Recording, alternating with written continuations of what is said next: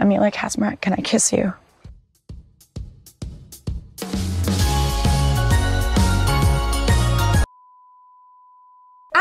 Describe this film as lesbian hot chocolate. Yum. I put it in my mouth. No. Thanks for watching and goodbye. The gloves, the photography, the holiday season. It's Carol, but it's Hallmarkified. It's also Hallmark's first ever lesbian holiday romance film. Ha ha ha. They have featured lesbian activity in their films before, in Every Time a Bell Rings and Love Classified. AKA their apologies to the lesbian community for pulling an advert from their channel just because it featured two brides kissing. One million mums put in a complaint, and I want to kiss all one million of those mums. I, I do. It's just impossible for me to be angry at homophobic women. It just turns me on too much. I, I don't know. This video should not be published. It, okay. But Friends and Family Christmas is not only the first lesbian holiday film by Hallmark, it's also Hallmark's first film where a lesbian romance sits at the centre of the story. And do you know what? It has better lesbian representation than all three seasons of the L Word Generation Q. Not that it's hard. Let's be real, a cereal box has better lesbian representation than the L Word Generation Q. It does. But I say all that to say, I'm impressed. And yes, I know it's Hallmark, but I've said it before and I'll say it again. Lesbians deserve unrealistic surface level holiday romances too. Well, we want more stuff like The Holiday, not Love Actually. That's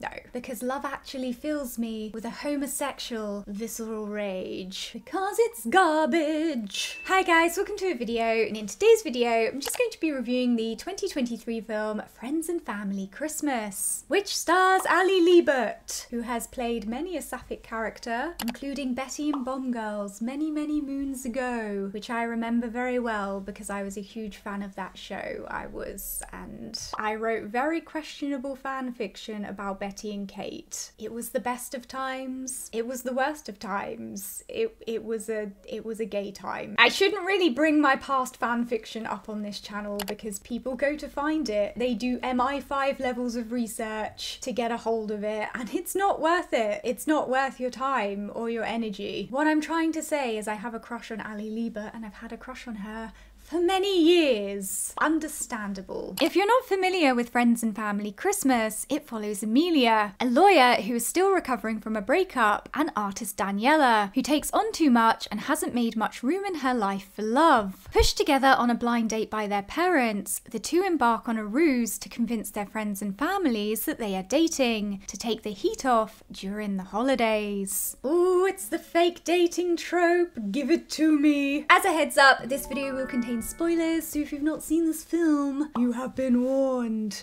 Now let's get into it. So, this is Hallmark's first ever lesbian holiday film, and I have to say, I really liked it. I think what caught me most off guard about this film is I wasn't expecting it to have such amazing lesbian representation, and it does. In fact, it has better lesbian representation than most other lesbian films that I've seen, and uh, I've seen quite a lot. There's no pointless male love interest, lesbian relationships are normalized, they actually use the word lesbian, there's no trauma, no death, no homophobia. Both Amelia and Daniela's parents are completely fine about the fact that they're gay, and they're supportive. And there's a happy romantic ending. Like, how often do all of those boxes get ticked in a lesbian film? It's like a rare shiny Pokemon card. And there's even a giant teddy bear, which I really, really want because it looks like it would solve all of the problems in my life. If I just could cuddle it, if I could just be near it, it would solve everything. It's also refreshing how it features older lesbian characters. I feel like a lot of the lesbian films that I've watched recently have really revolved around teenagers. And there's nothing wrong with lesbian coming of age films. I mean, the more the merrier. It's just some of us are bitter and old and would also like representation. I also think it's really wonderful that younger lesbians and bisexual women get to watch this kind of film because I had nothing like this growing up and it's so heartwarming. It would have been nice, you know? Back in my day, it was either the L word or pornography. That, that's what it was. So it's nice that younger lesbians have something heartwarming to watch. Oh god. I mean, yes, it is a Hallmark film, so therefore it's Hallmark quality and it does follow a very predictable formula. But even still, it's very much a positive contribution to lesbian cinema and in some ways it's a landmark of lesbian cinema too. It's very cool. I'm also very impressed with just how many Christmas props they managed to cram into every single scene in this film. You will not forget that it's Christmas at any point. During this film, also help them God. Of course, it doesn't hurt that both Amelia and Daniela look like they've been crafted by Aphrodite herself. I especially appreciated Amelia wearing those high waist pants. And I felt like they had decent enough chemistry. I will say they do start off feeling slightly awkward and mismatched as a romantic pairing. Amelia is this uptight lawyer and Daniela is this go with the flow artist. But I think that's the whole point of the film and their relationship, and both actors do a good job of building upon the chemistry and attraction as the film progresses. I mean, there's yearning, there's there's intense eye contact, there's slow dancing, and there's a lot of tension. I mean, what more could you want in a lesbian film? Actually, I wanted them to kiss on that doorstep so, so badly. I was fully invested in them kissing in that scene. I was. But I will say, all of that build up throughout the film makes it so satisfying when they finally do kiss. I mean, the kisses are just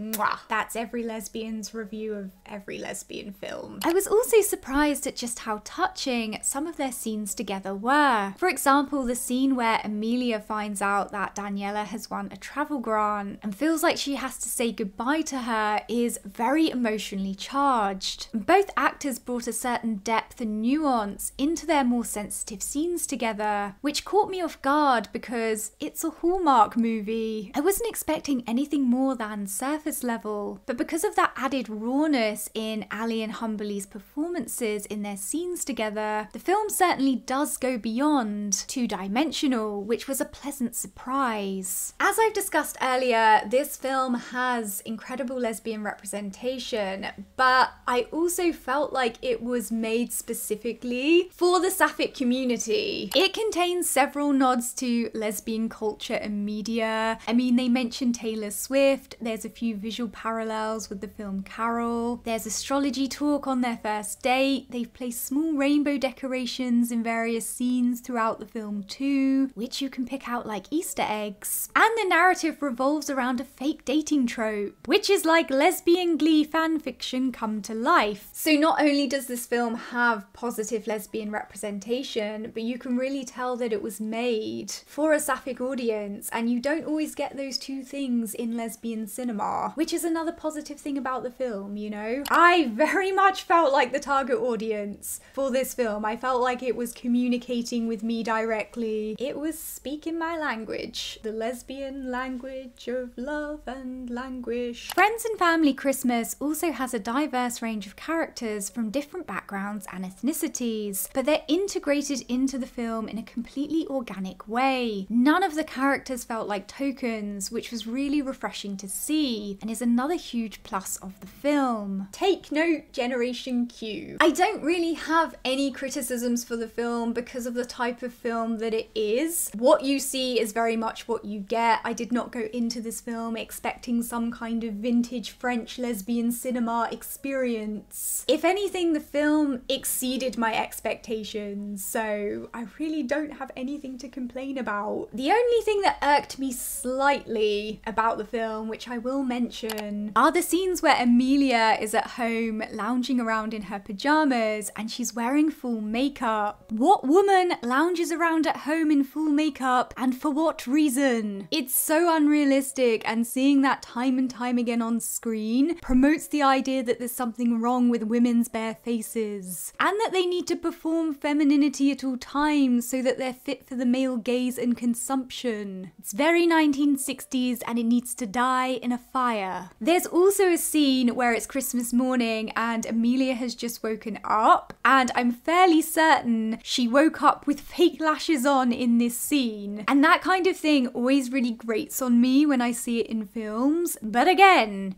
it's a Hallmark movie. They probably operate on a tight schedule and wanted to save time by keeping the makeup on so they didn't have to keep taking it off and reapplying it. So, what are you gonna do? Overall, Friends and Family Christmas is a cute, clean, and heartwarming cake with an added layer of emotional depth frosting, which made it even more delicious than I was expecting. And for Hallmark's first ever lesbian holiday romance film, I thought it was a really good effort. Apology accepted for pulling that lesbian advert. Okay, guys, if you've seen Friends and Family Christmas, let me know what you thought of it down in the comments section below. Don't forget to subscribe for instant disappointment. And I hope you have a Merry Grinchmas, or Happy Holidays, or let's just pretend this whole season doesn't exist.